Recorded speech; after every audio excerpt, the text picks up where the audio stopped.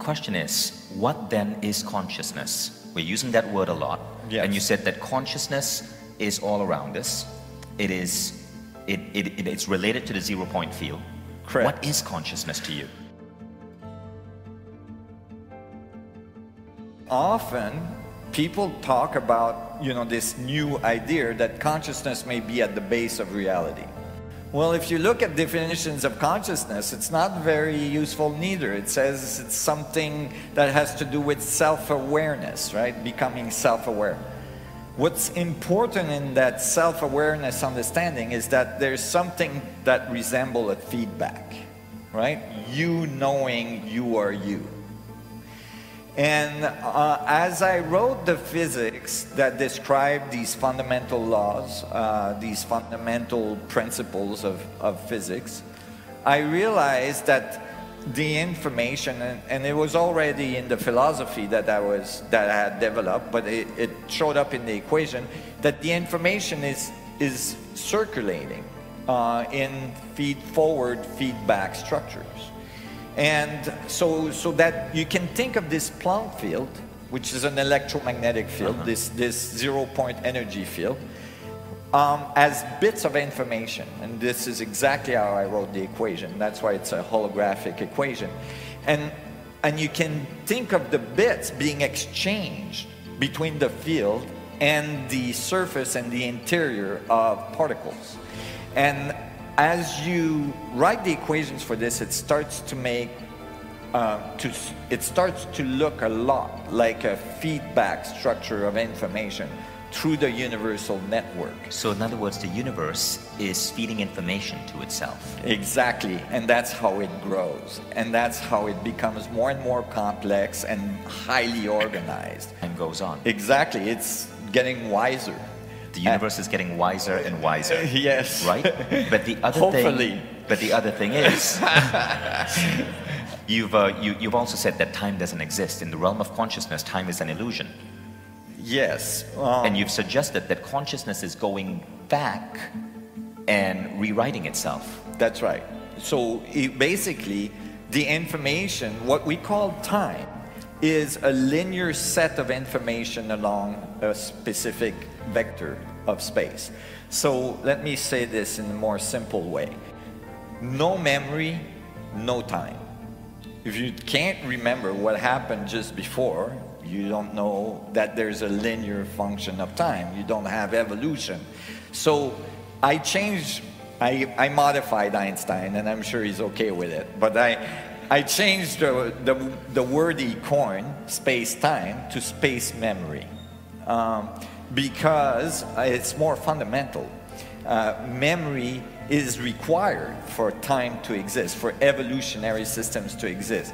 So I, I start to realize that maybe in this Planck field of information, we're leaving information as we're moving through space. And we're basically like, like we put information on a hard drive in the magnetic field medium of a hard drive, we're leaving information on the Planck oscillating field of space-time, on the electromagnetic field of space-time. And that's what we call our memory. That memory is not in the brain. I actually wrote a paper on this. It was my first paper in biophysics a few years ago, and it, it just got cited by a very, really good team of, of uh, as a biophysicist in, in the Netherlands, and, and it got a lot of press. But basically, it's saying that consciousness is not in your brain, but your brain and your whole body is like a bio-oscillator antenna tapped into that field of information. So, so basically, information you, is on the structure of space, and in each coordinates, think of each coordinates as one Planck second, which is really, really, really, really, really short, right? It's like 10 to the minus Right. 44 seconds, right? And- and And just and can you give us perspective of what that looks like? In our prior conversation, you spoke about how the Earth is going around the sun, Right. But the universe is expanding, so the sun is moving. So technically, we are moving through space like this, in making a spiral. right? Yeah, and like after a year, we're like billions of kilometers away from where we were a year prior. And we've left information on the structure of space, each one of us, along that path. And that's what we call our past. That is our memory imprint on the structure of space, which we're entangled with because everything is connected and all the protons in your body are connected to that information. Now, now, now here's another question. Where does my consciousness end and your consciousness begin? Oh, that's a good question. If consciousness is also between us, Right. isn't it all connected in some way? It is, but uh, each coordinates in space-time is observing the universe from a different perspective. If I put an object between you and me right now, you, or, and, and I don't know, we have like what, like 400 people in the room. If not one of us is seeing this object from the same perspective, every one of us, because we are in different coordinates in space-time, are seeing a different part of this object. We're all gathering different set of information. So although we're all part of the same consciousness flow of information, we are all in our feedback structure feeding a different set of information that and all the combined sets of all the coordinates in space-time produce the reality we see. So if the universe is self-aware, is conscious, Yeah. and we are some of the most sophisticated creations in the universe, And we and we all are individualization, right? Because we're all gathering different sets. Right. So we all look a little different because the universe is organizing in the feedback is organizing your body a little different than me because you're feeding the universe a little different set of information than I am. so we are just a highly organized, a highly organized bit of the universe That's where right. universal consciousness is expressing itself. That's right. You're like a you're like the structure of space-time extending itself and feeding information back to the whole. Wow. Yeah. That, that's a very interesting way of, of looking at it. Yes. Now, Einstein Einstein mentioned it. I mean, he approached it in some of his statements. what, Uh, what specifically did he say? he uh, objects are not in space, but they're an extension of space itself. Wow. Is there a way we can tap into this consciousness? And is that what intuition is? Oh, that's a good question. Uh, well, you're so that's what I was saying earlier. Is like you're making a distinction between you and consciousness, and there's none. You, you are tapping your consciousness, what you call your self-awareness. Your conscious is the tap. You're tapped already.